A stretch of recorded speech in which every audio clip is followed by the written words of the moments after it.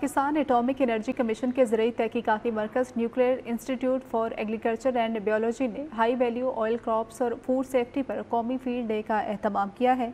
Doctor Mohammad Yusuf Salim, chief scientist, director ने आपने खुतबा इस्तबालिया पेश किया। उन्होंने जोहरी तकनीकों को इस्तेमाल करके फ़सलों की बेहतर इकसाम, मुतारफ़ कराने में न्याब के किरदार को उजागर किया है। उन्होंने तेरह फ़सलों को फ़रोग देने में न्याब के किरदार के बारे में भी बताया, जिसके नतीजे में मुल्क के दरामदी बिल को कम करके ज़र मुबादला की बचत करने में मदद मिली है। Doctor Kashif Riaz Khan, head plant, breeding and genetic engineering. ने आपने बताया कि साइंसदानों ने अपना काम कर दिया है और अब ज़्यादा पैदावार वाली इकसाम के बीज खेतों में लगाए जाएँ, ताकि ज़रात में खुद कफालत का हसूल मुमकिन हो।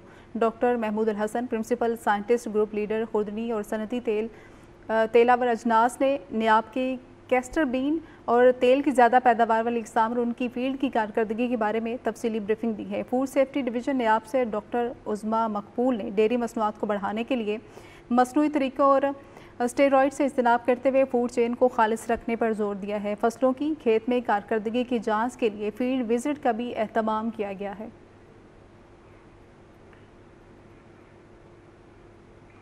न्यूज़ स्टूडियो से फिल वक्त इतना है।